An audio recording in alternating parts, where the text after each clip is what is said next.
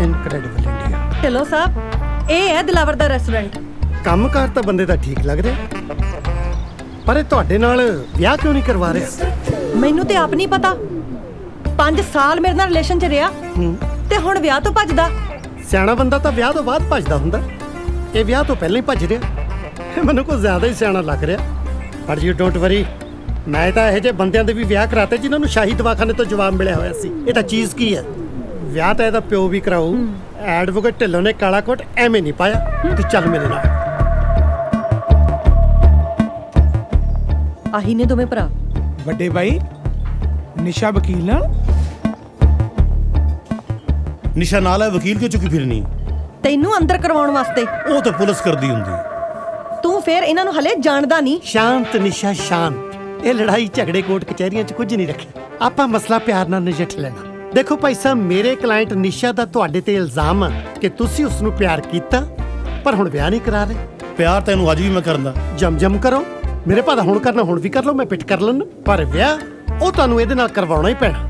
ਇਹ ਕਿਹੜੇ ਕਾਨੂੰਨ ਦੀ ਕਿਤਾਬ ਵਿੱਚ ਲਿਖਿਆ ਬੰਦਾ ਜਿਹਦੇ ਨਾਲ ਪਿਆਰ ਕਰੇ ਉਹਦੇ ਨਾਲ ਵਿਆਹ ਵੀ ਕਰਾਉਣਾ ਪੈਣਾ ਹੈ? ਦੇਖੋ ਕਾਨੂੰਨ ਦੀਆਂ ਮੈਂ ਬਾਹਲੀਆਂ ਕਿਤਾਬਾਂ ਤਾਂ ਨਹੀਂ ਪੜ੍ਹੀਆਂ ਪਰ ਇਨਸਾਨੀਅਤ ਇਹ ਕਹਿੰਦੀ ਹੈ ਜਿਹਦੇ ਨਾਲ ਪਿਆਰ ਦੀਆਂ ਤੁਸੀਂ ਦੋ ਬੁਰਕੀਆਂ ਖਾ ਲੀਆਂ ਉਹਦੇ ਨਾਲ ਪੂਰਾ ਡਿਨਰ ਕਰਨਾ ਤਾਂ ਬਣਦਾ ਹੀ ਹੈ। ਆਈ ਲਵ ਡਿਨਰ ਪਰ ਮੈਂ ਵਿਆਹ ਨਹੀਂ ਕਰ ਸਕਦਾ। ਪਰ ਕਿਉਂ? ਕਿਉਂਕਿ ਸਰਦਾਰ ਸਾਹਿਬ ਸਾਡੀ ਕੰਪਨੀ ਦੇ ਵੀ ਕੁਝ ਅਸੂਲ ਨੇ। ਅਸੀਂ ਦੋਨੇ ਭਰਾ ਨਾ ਤੇ ਕਦੇ ਵਿਆਹ ਕਰਾਈਏ ਨਾ ਹੀ ਕਿਸੇ ਵਿਆਹੇ ਵਰੇ ਬੰਦੇ ਨੂੰ ਆਪਣੇ ਰੈਸਟੋਰੈਂਟ ਵਿੱਚ ਨੌਕਰੀ ਤੇ ਰੱਖੀਏ। ਤੂੰ ਇਹ ਗੱਲਾਂ ਮੈਨੂੰ ਪਹਿਲਾਂ ਕਿਉਂ ਨਹੀਂ ਦਸੀਆਂ? ਉਹ ਰਾਜੇ ਪਿਆਰ ਕਰਨ ਲੱਗਿਆ ਆਪਣੀ ਕੰਪਨੀ ਦੀ ਪਾਲਿਸੀਆਂ ਕੌਣ ਡਿਸਕਸ ਕਰਦਾ ਹੈ? ਤੁਹਾਡੇ ਆਏ ਦੀ ਮੈਂ ਬਹੁਤ ਇੱਜ਼ਤ ਕਰਦਾ ਥੈਂਕ ਯੂ ਹਾਂ ਲੇਕਿਨ ਵਿਆਹ ਨੂੰ ਮੇਰਾ ਕੋਰਾ ਜਵਾਬ ਢਿੱਲੋਂ ਸਾਹਿਬ ਕੋਈ ਐਸਾ ਕਾਨੂੰਨ ਨਹੀਂ ਹੈਗਾ ਵੀ ਆਪਾਂ ਇਹਨਾਂ ਨੂੰ ਘੇਰ ਸਕੀਏ? ਪੁੱਛਣਾ ਪੈਣਾ। ਇੰਡੀਆ ਹੁੰਦੇ ਤਾਂ ਇਹਨੂੰ ਬਿਨਾਂ ਪੁੱਛੇ ਅੰਦਰ ਕਰ ਦੇਣਾ ਸੀ। ਪਰ ਇੱਥੇ ਇਹਦਾ ਇੱਕੋ ਇਲਾਜ ਹੈ। ਆਪਾਂ ਇਹਦੇ ਤੇ ਰੇਪ ਦਾ ਕੇਸ ਪਾ ਦਿੰਦੇ ਹਾਂ। ਪਾਓ ਕੇਸ। ਫਿਰ ਮੈਂ ਦੱਸਦਾ ਤੈਨੂੰ। ਤੈਨੂੰ ਪਤਾ ਤੇ ਝੂਠਾ ਕੇਸ ਪਾਉਣ ਦੀ ਕਿੰਨੀ ਸਜ਼ਾ ਆਉਂਦੀ ਹੈ ਪੱਕਾ ਨਹੀਂ ਪਤਾ। ਕੋਰਟ 'ਚ ਇੱਕ ਵਾਰੀ ਵਕੀਲ ਗੱਲਾਂ ਕਰਦੇ ਸੁਣੇ ਸੀ ਕਿ 5 ਸਾਲ ਹੁੰਦੀ ਆ। ਇਹ ਕਿੱਥੋਂ ਫੜ ਕੇ ਲਿਆਈ ਇਹ ਵਕੀਲ? ਉਹ ਮੈਨੂੰ ਤੇ ਇਹ ਸਮਝ ਨਹੀਂ ਆਂਦੀ ਤੂੰ ਵਕਾਲਤ ਪੜ੍ਹ ਕੇ ਕੀਤੀ ਹੈ ਸੁਣ ਕੇ। ਗੁੱਸਾ ਨਹੀਂ ਆ ਰਿਹਾ ਮੈਨੂੰ ਤੁਹਾਡੀ ਗੱਲ ਤੇ। ਤੁਸੀਂ ਭੁੱਲ ਜਾਓ ਤੁਹਾਡੇ ਸਾਹਮਣੇ ਇੱਕ ਵਕੀਲ ਖੜਾ। ਭੁੱਲਣਾ ਕਿਉਂ ਹੈ? ਤੁਸੀਂ ਜਦੋਂ ਦੇ ਆਏ ਮੈਂ ਤੁਹਾਨੂੰ ਵਕੀਲ ਮੰਨਿਆ ਹੀ ਨਹੀਂ। ਚਲੋ ਗੋਲੀ ਮਾਰੋ ਵਕੀਲ ਨੇ। ਤੁਸੀਂ ਇਹ ਸਮਝੋ ਤੁਹਾਡੇ ਸਾਹਮਣੇ ਇੱਕ ਭਰਾ ਖੜਾ ਜੋ ਆਪਣੀ ਭੈਣ ਦੀ ਲੁੱਟੀ ਹੋਈ ਇੱਜ਼ਤ ਨੂੰ ਇਕੱਠੀ ਕਰ ਰਿਹਾ। ਹੁਣ ਇਕੱਠੀ ਕਰ ਲਈ ਹੈ ਨਾ? ਇਸ ਤੋਂ ਪਹਿਲਾਂ ਮੈਂ ਦੁਬਾਰਾ ਖਿਲਾਰ ਦਿਆਂ। ਚਲੋ ਨਿਕਲੋ। ਦੇਖੋ ਮੈਂ ਤੁਹਾਡੀ ਗੱਲ ਦਾ ਫੇਰ ਨਹੀਂ ਗੁੱਸਾ ਕਰ ਰਿਹਾ। ਜ਼ਰਾ ਠੰਡੇ ਦਿਮਾਗ ਨਾਲ ਸੋਚੋ ਕਿ ਇੱਕ ਕੁਆਰੀ ਭੈਣ ਨੂੰ ਘਰੇ ਬਿਠਾਉਣਾ ਕਿੰਨਾ ਔਖਾ। ਕੋਈ ਗੱਲ ਨਹੀਂ ਹੋਟਲ 'ਚ ਬਿਠਾ ਦਿਓ। ਤੇਰੀਓ ਤੂੰ ਫਿਰ ਮੈਨੂੰ ਅਜੇ ਚੰਗੀ ਤਰ੍ਹਾਂ ਜਾਣਦਾ ਨਹੀਂ। ਜੇ ਮੈਂ ਵਕਾਲਤ ਦੀਆਂ ਚਾਰ ਕਿਤਾਬਾਂ ਪੜ੍ਹ ਕੇ ਆ ਗਿਆ ਮੈਂ ਤੇਰੀ ਭੂਤਰੀ ਭੁਲਾ ਦੂੰ। ਉਹ ਤੂੰ ਵਾਕਿਆ ਵਕੀਲ ਹੈ ਜਾਂ ਕਚਹਿਰੀ ਤੇਰੀ ਫਰੂਟ ਦੀ ਦੁਕਾਨ ਹੈ? ਉਹ ਕਿੱਥੋਂ ਚੁੱਕ ਕੇ ਲਿਆਈ ਇਹ ਵਕੀਲ? ਪੈਸੇ ਮੈਂ ਦਿੰਦਾ ਕੋਈ ਚੰਗਾ ਵਕੀਲ ਕਰ। ਬਕਵਾਸ ਬੰਦ ਕਰ। 500 ਪਾਉਂਡ ਫੀਸ ਹੈ ਇਹਨਾਂ ਦੀ। ਉਹ ਮੇਰੇ ਤੋਂ ਜ਼ਿਆਦਾ ਤੈਨੂੰ ਇਹ ਲੁੱਟ ਗਿਆ। ਓਏ ਫੀਸ ਆਏ ਮੇਰੀ। ਐਡਵੋਕੇਟ ਢਿੱਲੋਂ ਨੇ ਕਾਲਾ ਕੁੱਟ ਐਵੇਂ ਨਹੀਂ ਪਾਇਆ। ਉਹ ਯਾਰ ਦੱਸ ਦੇ ਤੂੰ ਕਿਵੇਂ ਪਾਇਆ? ਤੇਰਾ ਕੋਈ ਹੋਰ ਤਰੀਕਾ ਹੈ? ਤੂੰ ਇਥੋਂ ਐ ਕਰਕੇ ਪਾਇਆ? ਜਾਂ ਕੋਲ ਨੂੰ ਜ਼ਮੀਨ ਤੇ ਸੁੱਟ ਕੇ ਵਿੱਚ ਵੜ ਜਾਂਦਾ ਹੈ, ਜਾਂ ਉੱਤੋਂ ਕੋਟ ਆਂਦਾ ਹੈ, ਇੰਜ ਕਰ ਲੈਣਾ ਹੈ। ਕਿਵੇਂ ਪਾਇਆ? ਦੱਸ ਦੇ। ਦੱਸਾਂ ਕਿਵੇਂ ਕੋਟ ਪਾਇਆ? ਸਾਲਾ ਬਾਂਦਰ ਨੂੰ। ਦੱਸਾਂ? ਛੱਡੋ ਆਪਾਂ ਇਹਨਾਂ ਦੇ ਮੂੰਹ ਨਹੀਂ ਲੱਗਣਾ। ਚੁੱਪ ਕਰ। ਸਾਰੇ ਪਾਸੇ ਉਹਦੇ ਨਾਲ ਲੱਗ ਲਈ। ਹਜੇ ਆਪਾਂ ਇਹਦੇ ਮੂੰਹ ਨਹੀਂ ਲੱਗਣਾ। ਇਹਦੇ ਤੇ ਤਾਂ ਮੈਂ ਹੁਣ ਰੇਪ ਦਾ ਕੇਸ ਪਾ ਕੇ ਹੀ ਹਟੂੰ। ਚਾਹੇ ਮੈਨੂੰ ਤੇਰੇ ਆਪ ਨਾਲ ਝਰੀਟਾਂ ਪਾਉਣੀਆਂ ਪੈਣ। ਓਏ ਸ਼ਰਮ ਕਰ ਓਏ ਸ਼ਰਮ। ਇੱਕ ਪਾਸੇ ਉਹਨੂੰ ਭੈਣ ਕਹੀ ਜਾਂਦਾ ਦੂਜੇ ਪਾਸੇ ਉਹ ਚਰੀਟਾ ਪਾਉਣ ਨੂੰ ਫਿਰਦਾ। ਮਾਰਾ ਸਾਲ ਦੇ ਰੱਖ ਚ ਪੈ। ਲਿਸਨ ਜੇ ਕੋਰਟ ਦੇ ਵਿੱਚ ਮੈਂ ਤੇਰੀ ਕੀਸੀ ਨਾ ਨਾ ਕਰਾਈ ਮੈਨੂੰ ਵੀ ਐਡਵੋਕੇਟ ਢਿੱਲੋਂ ਕਿਹਨੇ ਕਹਿਣਾ? ਉਹ ਕੋਟ ਕਿਹੜੀ ਏਸੀਜੀ ਹੁੰਦੀ ਹੈ? ਓਏ ਸੀਜੀ ਡਾਕਟਰ ਤੇ ਹੁੰਦੀ ਆ। ਕੋਰਟ ਦੇ ਵਿੱਚ ਆ ਕੀਸੀ ਜੀ ਹੁੰਦੀ ਆ। ਚੱਲ ਕੁੜੀਏ। ਓ ਜਾ ਬੱਜਾ ਆਇਆ ਵੱਡਾ ਕਿੱਸਿਆਂ ਕਰਾਉਣ ਵਾਲਾ। ਮੈਂ ਲੱਤਾਂ ਪਾਂਦਲੀਆਂ ਤੇਰੀਆਂ। ਇਹ ਗੱਲ ਉਦੋਂ ਕਰਨੀ ਸੀ ਜਦੋਂ ਇੱਥੇ ਖਲੋਤਾ ਸੀ ਨਾ। ਮੀਤ ਮੈਨੂੰ ਘੱਟੋ ਘੱਟ 5-7 ਨਿਆਣੇ ਚਾਹੀਦੇ ਆ। ਨਿਆਣੇ ਤਾਂ ਬਾਅਦ ਦੀ ਗੱਲ ਆ ਪਹਿਲਾਂ ਇਹ ਦੱਸ ਆਪਣੇ ਡੈਡੀ ਨਾਲ ਸਾਡੇ ਵਿਆਹ ਦੀ ਗੱਲ ਕਦੋਂ ਕਰੇਗਾ? ਕਦੋਂ ਕਰੇਗਾ? ਉਹ ਲੈ ਹੁਣੇ ਕਰ ਲੈਣੇ ਡੈਡੀ ਨਾਲ ਵਿਆਹ ਦੀ ਗੱਲ? ਹੁਣੇ ਨਹੀਂ। ਡੈਡੀ ਜੀ ਸਤਿ ਸ੍ਰੀ ਅਕਾਲ। ਡੈਡੀ ਤੁਸੀਂ ਕਹਿੰਦੇ ਸੀ ਕਿ ਆਪਣੇ ਲਈ ਕੁੜੀ ਲੱਭ ਲਾ। ਹਾਂਜੀ ਲੱਭ ਲਈ ਮੈਂ। ਆ ਆ ਆ ਦੇਖੋ ਸਤਿ ਸ੍ਰੀ ਅਕਾਲ ਬੁਲਾ। ਸਤਿ ਸ਼੍ਰੀ ਅਕਾਲ ਅੰਕਲ। ਡੈਡੀ ਕਿਵੇਂ ਲੱਗੀ? ਸੋਹਣੀ ਆ ਨਾ? ਨਹੀਂ ਸੋਹਣੀ ਨਹੀਂ। ਡੈਡੀ ਧਿਆਨ ਨਾਲ ਦੇਖੋ। ਡੈਡੀ ਇਧਰੋਂ ਦੇਖੋ। ਸੋਹਣੀ ਆ ਨਾ? ਇਧਰੋਂ ਵੀ ਨਹੀਂ। ਡੈਡੀ ਇਧਰ ਦੇਖੋ ਇਧਰੋਂ। ਸਮਾਈਲ ਕਰ। ਹਾਂ ਸ਼ਰਮਾ ਕੇ ਦਿਖਾ। ਨਹੀਂ ਪੜੀ ਕਿੰਨਾ? ਕਿੰਨੇ ਕਿੰਨੇ ਕਿੰਨੇ ਪੜੀ ਕਿੰਨੇ ਅੰਕਲ ਮੈਂ ਗ੍ਰੈਜੂਏਸ਼ਨ ਕੀਤੀ ਹੈ ਗ੍ਰੈਜੂਏਸ਼ਨ ਕੀਤੀ ਆ? BBA daddy? ਐਵੇਂ ਹੁੰਦੀ ਆ ਬੀਬੀਏ ਨਹੀਂ ਅੰਕਲ ਮੈਂ ਹੁਣ ਮਾਸਟਰਸ ਵੀ ਕਰੂੰਗੀ ਐਮਬੀਏ ਹੈ? ਐਮਬੀਏ ਵੀ ਨਹੀਂ ਉਹ ਵੀ ਐਵੇਂ ਹੀ ਆ? ਡੈਡੀ ਕਹਿੰਦੇ ਸਾਡੇ ਵਿਆਹ ਵੀ ਬਹੁਤ ਹੁੰਦੇ ਨੇ ਨੱਚਣਾ ਗਾਉਣਾ ਆਉਂਦਾ ਨਾ। ਜੀ ਅੰਕਲ ਹਾਂਜੀ। ਡੈਡੀ ਆਉਂਦਾ ਨੱਚਣਾ ਗਾਉਣਾ ਹਾਂ। ਡੈਡੀ ਇੱਥੇ ਨੱਚੇ ਇੰਨੇ ਰਸ਼। ਇਹ ਡੈਡੀ ਇੱਥੇ ਕਿਵੇਂ ਨੱਚ ਸਕਦੀ ਆ? ਉਹ ਡੈਡੀ ਇੰਨੀ ਕੁ ਗੱਲ ਪਿੱਛੇ ਹੁਣ ਰਿਸ਼ਤਾ ਨਾ ਤੋੜੋ।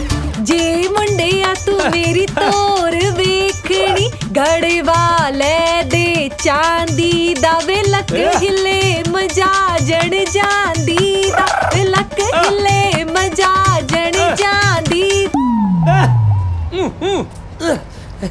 ਜਸ! ਬੀ ਸੀਰੀਅਸ ਯਾਰ? ਜਸ ਆਪਣਾ ਵਿਆਹ ਇੰਨਾ ਸੌਖਾ ਨਹੀਂ ਹੋਣਾ। ਮੈਂ ਕਹਿ ਰਹੀ ਆ ਨਾ ਯਾਰ ਮੇਰੇ ਮਾਮੇ ਨਾਲ ਗੱਲ ਕਰ ਲਾ ਉਹ ਪਲੀਜ਼ ਯਾਰ ਚੱਲ ਹੁਣੇ ਚੱਲਦੇ ਆ ਤੇਰੇ ਮਾਮਿਆਂ ਨਾਲ ਗੱਲ ਕਰਨ। ਤੇਰੇ ਇਕੱਲਿਆਂ ਜਾਏ ਨਾ ਕੁਛ ਨਹੀਂ ਹੋਣਾ? ਘਰ ਦੇ ਵੱਡਿਆਂ ਨੂੰ ਪਾਉਣਾ ਪੈਣਾ ਵਿੱਚ। ਉਹ ਮੇਰਾ ਡੈਡੀ ਤੇ ਮੇਰਾ ਮਾਮਾ ਤਾਂ ਮੰਨੇ ਪਏ ਆ। ਬਸ ਵਿੱਚ ਇੱਕ ਵਿਚੋਲਾ ਪਾਉਣਾ ਤੇ ਵਿਚੋਲਾ ਵੀ ਮੇਰੀ ਨਿਗਾਹ ਦੇ ਵਿੱਚ ਹੈ। ਕੀ ਨਾਂ ਲੈ ਰਹੀ ਸੀ ਉਹ? ਅ, ਢਿੱਲੋਂ ਸਾਹਿਬ। ਆ। ਹਾਂ ਬਹੁਤ ਵੱਡਾ ਖਾਨਦਾਨ ਹੈ ਜੀ ਉਹਨਾਂ ਦਾ। ਉਹ ਕਿਤੇ ਢਿੱਲੋਂ ਸਾਹਿਬ ਨੇ ਨਾ ਤੁਹਾਡੀ ਭਾਣਜੀ ਨੂੰ ਕਿਸੇ ਵਿਆਹ ਦੇ ਵਿੱਚ ਉਹ ਬ੍ਰੇਕ ਡਾਂਸ ਜਿਹਾ ਕਰਦੇ ਦੇਖ ਲਿਆ ਜੀ? ਉਦੋਂ ਹੀ ਢਿੱਲੋਂ ਸਾਹਿਬ ਨੇ ਕਹਿਤਾ ਕਿ ਅਸੀਂ ਆਪਣੇ ਮੁੰਡੇ ਦਾ ਵਿਆਹ ਇਸੇ ਕੁੜੀ ਨਾਲ ਹੀ ਕਰਨਾ ਹੈ। ਹਨੀ ਜੀ ਅਸੀਂ ਦੋਵੇਂ ਭਰਾ ਨਾਲ ਸ਼ਾਦੀ ਵਿਆਹ ਦੇ ਸਖਤ ਖਿਲਾਫ ਹੈ। ਬਿਲਕੁਲ ਸਾਡੇ ਸਾਹਮਣੇ ਕੋਈ ਵਿਆਹ ਦੀ ਗੱਲ ਕਰਨਾ ਅਸੀਂ ਉਹਨੂੰ ਵੱਢ ਕੇ ਰੱਖ ਦਈਏ। ਓਕੇ ਜੀ ਮੈਂ ਫਿਰ ਚੱਲ ਪੂਰੀ ਗੱਲ ਤੇ ਸੁਣ ਲਓ। ਨਹੀਂ ਨਹੀਂ ਤੁਸੀਂ ਉਹ ਕਹਿ ਰਹੇ ਸੀ ਨਾ ਵੱਢ ਕੇ ਰੱਖ ਦੇਣ ਵਾਲਾ ਜੀ। ਉਹ ਉਹਨੂੰ ਭੁੱਲ ਜਾਓ। ਅੱਛਾ ਜੀ। ਇਹ ਮੀਤ ਸਾਡੀ ਭੈਣ ਦੀ ਆਖਰੀ ਨਿਸ਼ਾਨੀ ਹੈ। ਸਾਡੀ ਭੈਣ ਨੇ ਮਰਨ ਲੱਗਿਆ 45 ਕੁ ਮਿੰਟ ਲਾਇਆ ਸੀ। ਪੌਣਾ ਘੰਟਾ ਇਹੀ ਗੱਲ ਕਰਦੀ ਰਹੀ। ਇਹਦੇ ਹੱਥ ਪੀਲੇ ਕਰ ਦੇਣਾ ਔਰ ਕਿਸੇ ਵੱਡੇ ਖਾਨਦਾਨ 'ਚ। ਖਾਨਦਾਨ ਵਾਲਾ ਫਿਕਰ ਨਾ ਕਰੋ ਜੀ ਤੁਸੀਂ। ਆ ਤੁਹਾਡੀ ਭੈਣ ਵਾਂਗੂ ਨਾ ਕੁਈਨ ਵੀ ਜਾਣ ਲੱਗਿਆ ਢਿੱਲੋਂ ਸਾਹਿਬ ਨਾਲ ਪੌਣਾ ਘੰਟਾ ਲਾ ਕੇ ਗਈ ਹੈ। ਕਿ ਮੇਰੇ ਮਗਰੋਂ ਯੂਕੇ ਦਾ ਖਿਆਲ ਰੱਖਿਓ। ਚਾਰਲਸ ਵਿਚਾਰਾ ਬੱਚਾ ਇਹਨੂੰ ਅਜੇ ਬਹੁਤਾ ਪਤਾ ਨਹੀਂ। ਹਾਈ ਮਾਮਾ ਜੀ। ਆਓ ਬੇਟਾ। ਸਤਿ ਸ਼੍ਰੀ ਅਕਾਲ ਇਹ ਕੌਣ ਨੇ? ਕਦੇ ਪਹਿਲਾਂ ਦੇਖਿਆ ਨਹੀਂ ਇਹਨਾਂ ਨੂੰ? ਪੁੱਤਰੇ ਕੋ ਮੀਟਰ ਠੀਕ ਕਰਨ ਨਹੀਂ ਆਏ। ਇਹ ਤੇਰਾ ਰਿਸ਼ਤਾ ਲੈ ਕੇ ਆਏ ਨੇ। ਔਰ ਤੇਰਾ ਰਿਸ਼ਤਾ ਬੜੇ ਵੱਡੇ ਖਾਨਦਾਨ 'ਚ ਹੋ ਰਿਹਾ ਹੈ। ਹਾਏ। ਹੈ? ਡਰ ਗਏ। ਪਰ ਸਾਡੇ ਤਾਂ ਇਹਨੂੰ ਸੰਗਣਾ ਕਹਿੰਦੇ ਆ ਜੀ। ਸਾਡੇ ਖਾਨਦਾਨ 'ਚ ਕਦੇ ਕੋਈ ਸੰਗਿਆ ਹੋਵੇ ਸਾਨੂੰ ਫੇਰ ਹੀ ਪਤਾ ਹੋਵੇ। ਅੱਛਾ ਜੀ ਰਿਸ਼ਤਾ ਲੈ ਕੇ ਅਸੀਂ ਜਾਣਾ ਹੀ ਆ, ਉਹ ਆਣਗੇ? ਨਹੀਂ ਨਹੀਂ ਤੁਸੀਂ ਕਿਉਂ ਜਾਣਾ? ਐਵੇਂ 10-15 ਲੀਟਰ ਤੇਲ ਫੂਕੋਗੇ ਆਪਣਾ ਅਗਲਿਆਂ ਨੂੰ ਫ਼ਰਕ ਕੋਈ ਨਹੀਂ ਪੈਣਾ। ਕੀ ਸਾਨੂੰ ਫ਼ਰਕ ਪੈਂਦਾ? ਹੈ? ਮੇਰਾ ਮਤਲਬ ਕਿ ਉਹ- ਉਹਨਾਂ ਕੋਲ ਨਾ ਦੂਜਾ ਬੈਟਰੀ ਬੈਟਰੀ ਵਾਲੀ ਕਾਰ ਹੈ ਈਜ਼ੀ ਬੈਟਰੀ ਅੱਛਾ ਅੱਛਾ ਅੱਛਾ। ਕੁੜੀ ਕਿਹਨਾਂ ਦੀ ਆ? ਮਾਮਿਆਂ ਦੀ। ਮਤਲਬ? ਮਤਲਬ ਕੁੜੀ ਦੇ ਮਾਪਿਓ ਹੈ ਨਹੀਂਗੇ ਮਾਮਿਆਂ ਨੇ ਕੁੜੀ ਪਾਲੀ ਆ। ਬੰਦੇ ਕਿੱਦਾਂ ਦੇ ਆ? ਇੱਕ ਤਕੜਾ ਜਿਹਾ ਇੱਕ ਪਤਲਾ ਜਿਹਾ।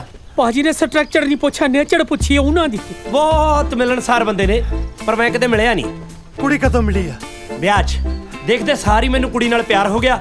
ਯਾਰਾਂ ਦੋਸਤਾਂ ਨਾਲ ਮਿਲ ਕੇ ਟਰਾਈ ਮਾਰੀ ਚੌਹਾਂ ਦਿਨਾਂ 'ਚ ਸੈੱਟ ਹੋ ਗਈ। ਸੋਹਣਿਆਂ ਨਾਲ? ਓਏ ਮੇਰੇ ਕੱਲੇ ਨਾਲ 4 ਦਿਨਾਂ 'ਚ ਸੈੱਟ ਹੋ ਗਈ। ਜੇ ਉਹਨੇ ਸੈੱਟ ਹੋਣ ਨੂੰ 4 ਦਿਨ ਲਾਏ ਇਹਦਾ ਮਤਲਬ ਕੁੜੀ ਖਾਨਦਾਨੀ ਆ। ਤੇਰੀ ਮਾਂ ਨੇ ਦੇਖ ਲੈ 2 ਮਿੰਟ ਲਾਈ ਸੀ ਮੇਰੇ ਨਾਲ ਸੈੱਟ ਹੋਣ ਲੱਗੀ ਨੇ। ਉਹ ਮੇਰੀ ਮੰਮੀ ਦੀ ਚੋਇਸ ਤਾਂ ਇੰਨੀ ਮਾੜੀ ਸੀ ਮਾੜੀ ਚੀਜ਼ ਨੂੰ ਪਸੰਦ ਕਰਨ ਲਈ 2 ਮਿੰਟ ਲਾਉਂਦੀ ਸੀ। ਪਹਿਲੀ ਵਾਰੀ ਮਾਂ ਦੇ ਅਗੇਂਸਟ ਤੂੰ ਕੋਈ ਸਟੇਟਮੈਂਟ ਦਿੱਤੀ ਆ? ਸ਼ਾਬਾਸ਼ ਬੱਚੇ। ਮੈਨੂੰ ਇਹ ਦੱਸੋ ਵੀ ਕੁੜੀ ਵਾਲੇ ਤੁਹਾਨੂੰ ਮਿਲਣ ਆਉਣ ਜਾਂ ਤੁਸੀਂ ਕੁੜੀ ਵਾਲਿਆਂ ਨੂੰ ਮਿਲਣ ਜਾਣਾ? ਦੇਖੋ ਜੀ ਬਣਦਾ ਤਾਂ ਉਹਨਾਂ ਹਾਂ। ਦਾ ਪਰ ਅਸੀਂ ਜਾਵਾਂਗੇ। ਮੈਂ ਕਹਿੰਦਾ ਹੁਣੀ ਨਾ ਚੱਲੀਏ ਗੇਰ ਜ਼ਿਆਦਾ ਪਿਆ ਹੋਇਆ। ਇੰਨੀ ਅਰਜੈਂਟ ਉਹ ਯਾਰ ਸਾਡੇ ਲਈ ਤਾਂ ਇਹੀ ਖੁਸ਼ੀ ਦੀ ਗੱਲ ਬਤੇਰੀ ਆ ਕਿ ਸਾਡੇ ਮੁੰਡੇ ਨੇ ਕੁੜੀ ਪਸੰਦ ਕੀਤੀ ਆ। ਨਹੀਂ ਸਾਡੇ ਗਵਾਂਢੀ ਸਤਪਾਲ ਦੀ ਇਕਲੌਤੀ ਔਲਾਦ ਦੇਖ ਲਓ। ਸਾਲਾ ਮੁੰਡਾ ਹੀ ਪਸੰਦ ਕਰਿਆ। ਉਹ ਭਾਜੀ ਸਤਪਾਲ ਦੀ ਕੁੜੀ ਆ ਮੁੰਡਾ ਹੀ ਪਸੰਦ ਕਰਨਾ ਸੀ ਉਹਨੀ। ਸਾਲਾ ਵਿੱਚ ਭੌਂਕਣੋਂ ਨਹੀਂ ਹਟਦਾ। ਇਹ ਭਕਾਈਏ ਨੇ ਜਾ ਕੇ ਕੁੜੀ ਵਾਲੇ ਦੇ ਘਰੇ ਮਾਰਨੀ ਆ। ਉਹਨਾਂ ਨੇ ਸੋਚਣਾ ਮੁੰਡੇ ਦਾ ਪਿਓ ਕਿੰਨਾ ਬੌਂਗਾ ਜਿਹਨੂੰ ਇਹ ਨਹੀਂ ਪਤਾ। ਉਹਦੇ ਗਵਾਂਢੀ ਸਤਪਾਲ ਦੇ ਕੁੜੀ ਆ ਕਿ ਮੁੰਡਾ ਉਹ ਡੈਡੀ ਤੁਸੀਂ ਦੋਨੇ ਜਣੇ ਜਾ ਕੇ ਉੱਥੇ ਘੱਟ ਹੀ ਬੋਲਿਓ ਕਿਉਂਕਿ ਆਪਣੇ ਗਵਾਂਢ ਦੇ ਵਿੱਚ ਕੋਈ ਸਤਪਾਲ ਨਹੀਂ ਹੈਗਾ ਹੈ ਡਰ ਹੀ ਲੱਗਦਾ ਇਹਨਾਂ ਨੂੰ ਭੇਜਣ ਲੱਗਿਆ Chopal, the biggest Punjabi OTT app. Subscribe now.